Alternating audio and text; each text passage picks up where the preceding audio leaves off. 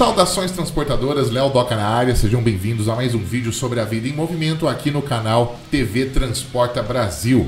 Se você curte caminhões, se você curte a vida em movimento, transporte de cargas e passageiros, esse aqui é o seu lugar. E você que transporta o Brasil de verdade, começa o vídeo deixando aquele joinha, aquele like que ajuda bastante o nosso trabalho e se inscreve no nosso canal para receber as notificações, porque aqui tem vídeo todo dia útil. Hoje a gente vai conhecer um caminhão muito especial, um caminhão que tem um motor a jato e que faz muito sucesso lá na América do Norte. E se você é fã de caminhões, não vai perder nenhum detalhe. Se liga aí.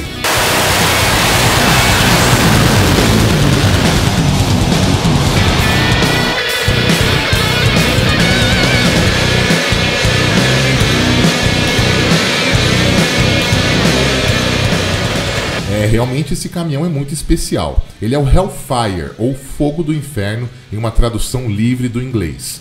Ele é um caminhão feito para demonstrações e quebras de recordes de velocidade nos Estados Unidos, inicialmente, e que depois foi vendido para novos donos lá no Canadá. Mas o que faz dele tão especial? Simplesmente o fato dele ter um motor de avião a jato, um motor a reação que gera um empuxo de cerca de 21 mil libras, o que equivale mais ou menos a uma potência nominal de mais de 10 mil cavalos. O Hellfire é muito famoso em eventos de exibições e em corridas de arrancada lá nos Estados Unidos e no Canadá, e ele foi construído a partir de um caminhão Freightliner Classic 6x2 ano 1995, que tinha originalmente um motor Cummins N14 turbo diesel de 6 cilindros com 475 cavalos de potência. Lá pelos anos 2000, o caminhão ganhou um motor novo, uma verdadeira ignorância em termos de potência, consumo e performance.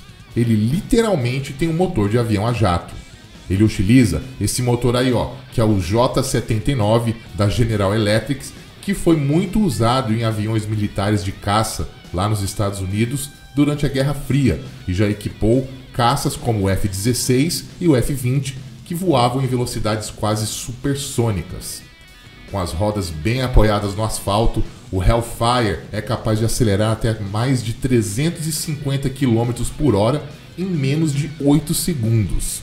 O recorde de velocidade dele foi registrado em 223 milhas por hora ou quase 359 km por hora em pista reta de arrancada. Para isso, ele utiliza o combustível de jato e gasta cerca de 30 litros por quilômetro acelerando ao máximo. Essas chamas aí que saem pelos escapes são controladas pelo piloto, que tem somente um pedal disponível, que é o do freio, e a aceleração é feita por essa manete ou alavanca que fica ao alcance da mão direita do piloto, assim como nos aviões. Quando o caminhão e seu motor a jato são ligados, o piloto precisa ficar segurando o bicho no freio o tempo todo, senão ele já sai andando devido à absurda potência gerada pelo motor a jato. E depois de fazer a sua corrida, ele precisa acionar paraquedas para que ele possa frear sem varar a pista. O Hellfire, o Freightliner mais rápido do mundo, tem uma extensa agenda de shows e exibições lá pela América do Norte todos os anos. E apesar de a gente querer muito, infelizmente seus donos não têm nenhum plano de trazê-lo aqui para o Brasil.